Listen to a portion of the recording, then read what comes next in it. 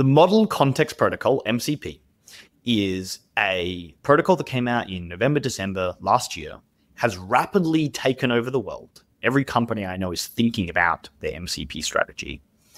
And I think the best, worst way to think about it is as a wrapper around APIs.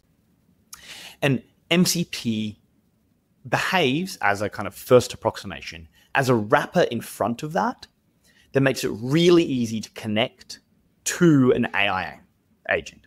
So it kind of operates in natural language. Is this translational barrier between a natural language interface that's happening in Claude or ChatGPT and the API, which is in more of a machine readable format. Trying to develop an AI agent to do something like create that calendar reminder.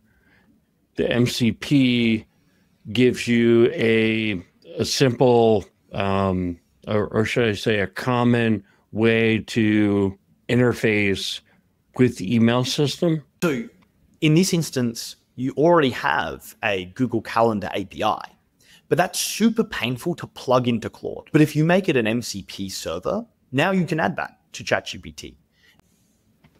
And so it's just this connective tissue that lets you write instructions in natural language. You literally, when you build an MCP server, write text that explains how to use different APIs, how to use different tools to connect to resources. We can talk about external use cases later if we want. But you as an employee have a bunch of extremely boring tasks you perform on a day-to-day basis that involve opening a website and clicking a series of buttons in the same manner every single day. What MCP lets you do within a company is take those operations, which can be done programmatically, and put them in a natural language interface. So wrap them in an MCP, plug that into your company employees' chatbots of choice, whether it's ChatGPT, Claude, Goose, Cursor.